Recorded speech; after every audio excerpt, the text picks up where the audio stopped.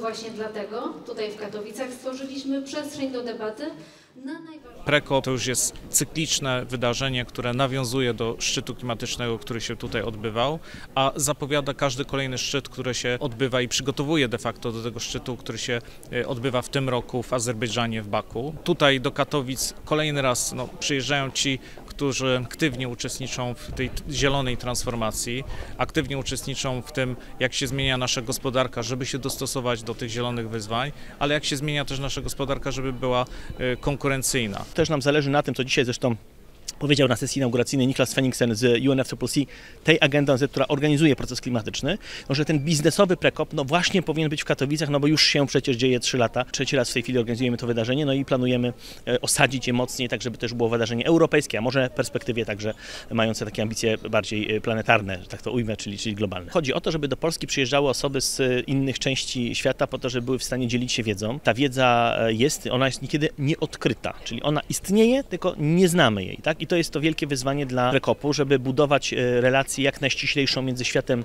wiedzy, światem nauki, a światem decydentów e, politycznych na poziomie lokalnym, regionalnym, centralnym i międzynarodowym. No i wreszcie, żeby włączać w to sektor prywatny, który no, musi też wiedzieć, co ma robić. Czyli jeżeli ma się biznes transformować, co wymaga nakładów, decyzji, też decyzji strategicznych, no to musi mieć pewną stabilność pewnej polityki, na przykład energetycznej. I to mniej więcej też o to chodzi, o te rozwiązania przemysłowe, e, które mm, też tutaj będziemy dyskutować. Równolegle z, z Prekopem odbywa się wydarzenie Energy Days, czyli wszystko o transformacji właśnie sektora energetycznego.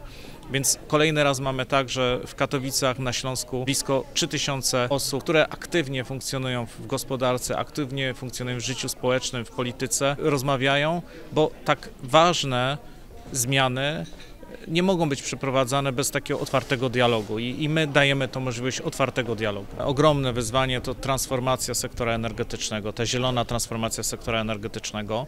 Już widzimy jak bardzo ciąży nam droga nieekologiczna energia, bo tak, tak mamy i rzeczywiście polskie firmy coraz częściej narzekają, że że rzeczywiście no, mają trudno konkurować w świecie.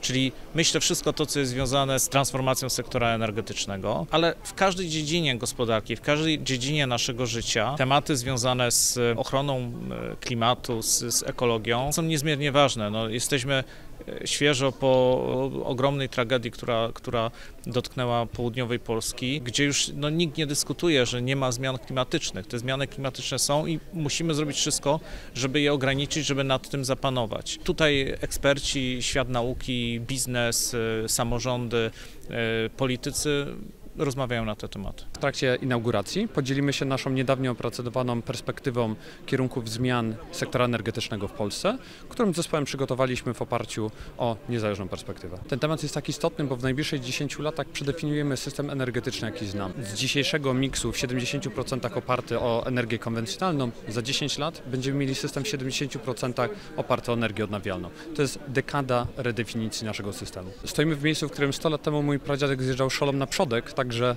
to miejsce jest najlepszym miejscem, aby mówić o przejściu z energii konwencjonalnej na energię, e, energię odnawialną. I drugie to jest oczywiście strategia y, energetyki jądrowej i rozwoju tej.